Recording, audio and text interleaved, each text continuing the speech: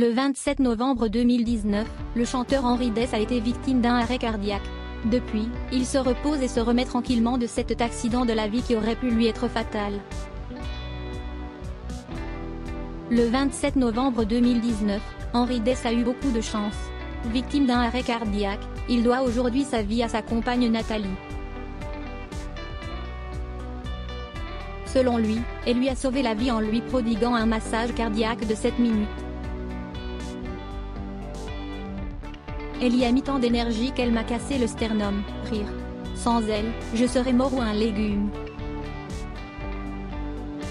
On regardait The Irishman, note de la rédaction, film de Martin Scorsese. J'ai eu un drôle de mouvement.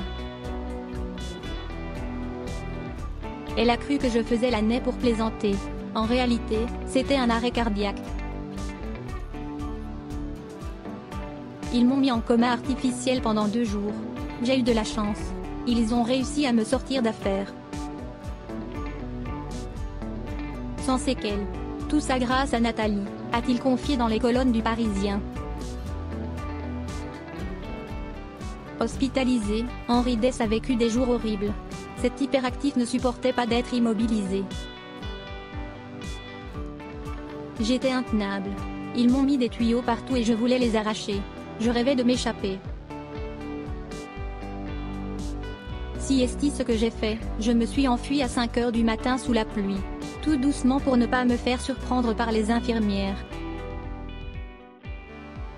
J'ai mis une heure pour rentrer chez moi, en reprenant mon souffle tous les cinq pas, a-t-il encore raconté. Comme un adolescent, il a donc fait le mur. Pour lui, sa liberté, si est ce qu'il y a de plus important.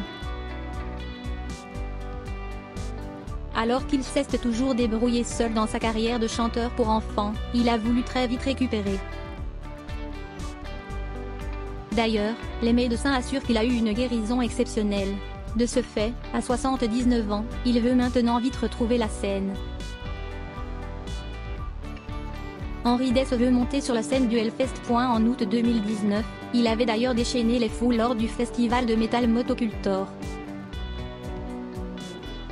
Une expérience complètement dingue dont se souviendra toute sa vie Henri Dess. Après le concert, j'ai entrepris une dédicace devant une queue énorme. Je compte recommencer au Summer Festival cet été à Bruxelles. Et si on me propose le Hellfest, je dirais oui, bien sûr.